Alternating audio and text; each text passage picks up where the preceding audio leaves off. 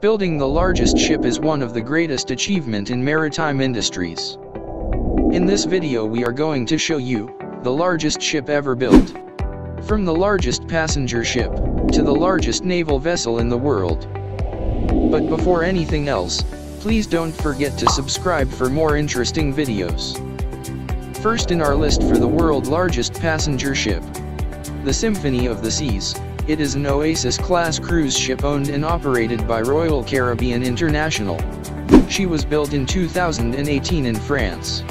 At 228,081 gross tons, she is the largest cruise ship in the world by gross tonnage, surpassing her sister ship Harmony of the Seas, also owned by Royal Caribbean International.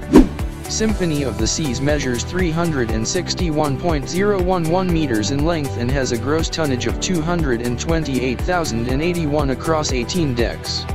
She is able to accommodate 5,518 passengers at double occupancy up to a maximum capacity of 6,680 passengers, as well as a 2,200 person crew.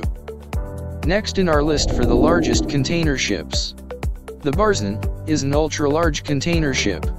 It is the first of a series of six 18,800 TEU container ships built in South Korea for United Arab Shipping Company or UASC. As of 2015, it stood among the largest container ships in the world. Barzan was built by Hyundai Heavy Industries in Mokpo, South Korea in 2015. She has a dead weight of 199,744 tons, and gross tonnage of 195,636. It took the shipyard six months to build her from steel cutting to launching. Barzan has a length of 400 meters or 1,300 feet. Next in our list for the largest oil tanker. The Seawise Giant, was a ULCC supertanker. It was the longest ship ever built by Sumitomo Heavy Industries in Japan. It possessed the greatest deadweight tonnage ever recorded. It was sunk in 1988 during the Iran-Iraq War, but was later salvaged and restored to service.